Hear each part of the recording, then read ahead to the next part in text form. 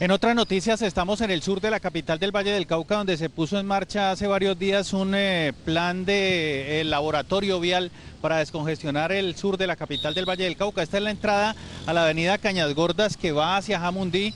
La vía panamericana que viene desde Jamundí hacia Cali ha sido puesta eh, los dos carriles en el mismo sentido, entrando a la ciudad de Cali para poder descongestionar.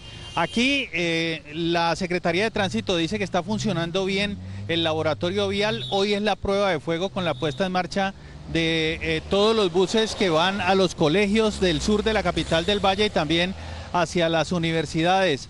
Eh, los eh, conductores pues no están muy contentos, algunos de ellos con este cambio vial que se ha puesto en marcha acá en el sur de la ciudad de Cali, pero la mayoría de los habitantes han dicho que este laboratorio ha funcionado. Vamos a preguntarle aquí, señor, ¿Cómo le ha parecido este cambio vial?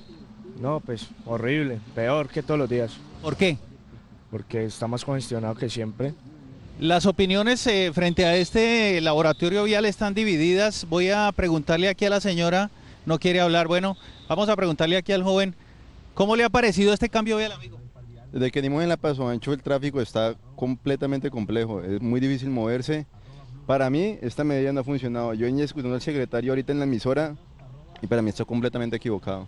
Muy bien, eh, lo que dice la Secretaría de Tránsito es que ha funcionado, pueden ustedes ahí eh, conocer las opiniones de los caleños, dicen que no les ha gustado, algunos han dicho que sí ha funcionado porque se movilizan más rápido, pero eh, la situación pues sigue siendo un poco compleja, especialmente para la gente que viene de algunos sectores de la ciudad de Cali que va hacia la ciudad de Jamundí.